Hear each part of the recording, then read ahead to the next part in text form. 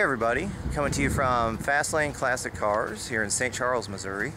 And uh, I thought you'd like to look at this 1968 Dodge Dart GTS. And uh, this is a really immaculate car. Um, it was a California car its entire life until recently. And uh, it has been fully restored. And it really looks slick. We'll check it out here. And you see it has the nice chrome bumper up front. And of course you have the GTS badge right here in the center. And it has that kind of dual power bulge hood. Very nice. And with the hood pins as well. And this is a 340 car. So uh, it's got a really nicely detailed 340 under the hood. And uh, we'll take a look at that in just a minute here. You can see it's riding on the steel wheels with the dog dish style caps and the BF Goodrich tires. And uh, have the GTS badges here on the fender as well. And the glass looks like new. It's got the nice chrome mirrors. Here we'll go ahead and take a look inside. And you can see has all black interior. Got the GTS badges here on the door and the seats are just like brand new. Has the mid-height bucket seats and a full console with an automatic. Uh, it does have the 727 torque TorqueFlite automatic and you probably noticed in our video uh, that it uh, really shifts firm. I mean it has no trouble barking second gear. See it has the factory wheel with the horn hoop and uh, nice set of gauges. Got your temp and fuel, 120 mile an hour speedometer, your battery and oil.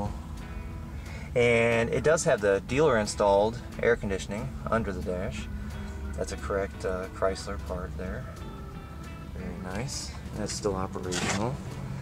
And you can see even the carpet looks like new. They got these custom floor mats in here as well. It's a really beautiful car. Here we'll continue on out back here guys. So you have the chrome fuel cap here and it does have the striping that goes across the deck lid. Very nice. And here I'll go ahead and give you a look in the trunk while we're back here. Alright guys, as you can see the trunk is just immaculate as well. Got uh, all nicely restored inside here. It has the correct mat in it and everything. Very nice. Just looks like a brand new car in there. Here we'll go ahead and continue on around back here. And as you can see, has another GTS badge on the deck lid here.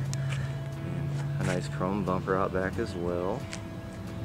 And you have the dual exhaust with chrome tips.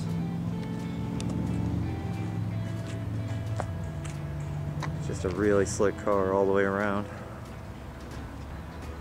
And like I said, this one's powered by the 340 with a four barrel and uh, it's really beautifully detailed. Uh, I'll go ahead and pop the hood and we'll take a look at it here. All right, we got the hood open now. Let me take a closer look. And you can see it has the correct 340 four barrel decal there on the air cleaner lid. And uh, just really nicely detailed. Still has the factory exhaust manifolds and uh, has that dealer installed air conditioning and you can see just how nice the inner fenders and the firewall and everything looks just really clean. I mean they really did a nice job on the restoration that's for sure. But uh, uh, they don't have all the information on the car yet because they just got it in. Uh, so as soon as I can I'll add that uh, below the video for you but uh, anyway guys I just thought you'd like a look at that one. I'm gonna keep looking around and see what else they have and I'll see you later. Bye